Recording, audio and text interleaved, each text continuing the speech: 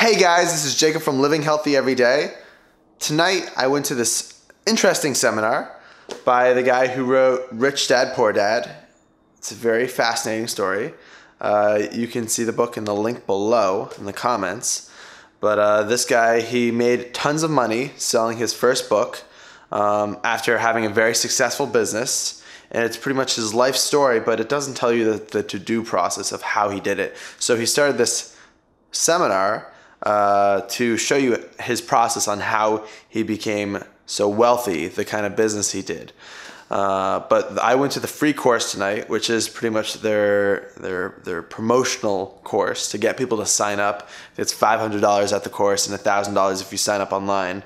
Uh, and it's a three day seminar on how to trade, trade, uh, how to flip houses, how to buy real estate, things like that.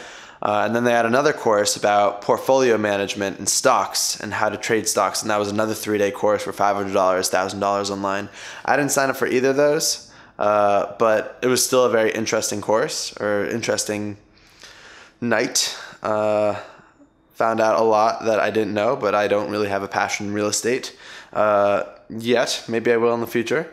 And but one very particular thing that I want to talk about is the subject of taking action. So you can have all the resources in the world, you can have all the knowledge in the world, but nothing happens unless you take action on it. And a funny story that happened tonight about this is they held up this book, this book actually in particular, called uh, Legacies Education Find It, Close It, Profit.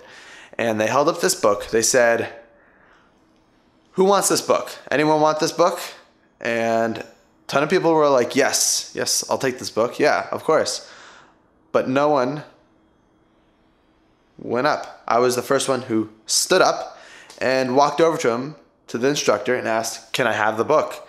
And he said, I don't know. Can you? And I said, Well, maybe. And I took the book from him.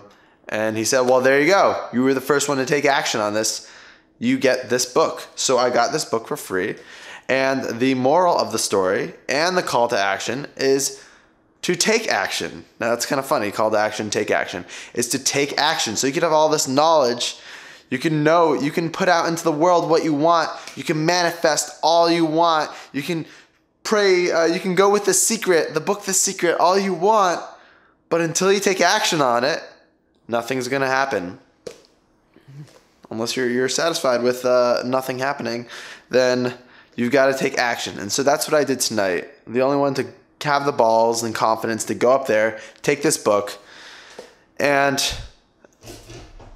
well, I got a free book out of it. It should be interesting. But do this in your life. Is there a girl you love that you want to call? Take action on that. Is there a new business you want to start up and you're stuck in your day job? Take action on it. Or is there a promotion that you want and you haven't asked for a raise, take action on it. Or you want that kid, take action on it.